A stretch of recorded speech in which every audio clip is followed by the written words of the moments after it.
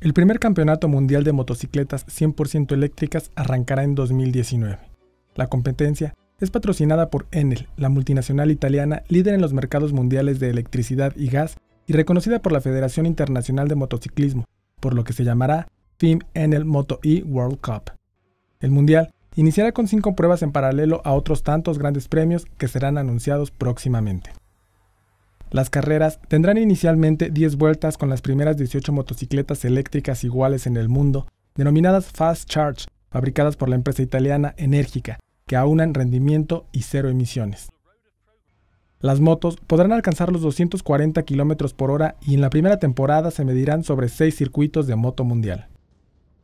Para el campeonato, Enel se ha aliado con Dorna Sport, la empresa que tiene los derechos comerciales del evento. El proyecto tiene como objetivo la sostenibilidad a largo plazo del motociclismo deportivo. Con información de Mario Sorio Beristain, corresponsal en Italia. Notimex.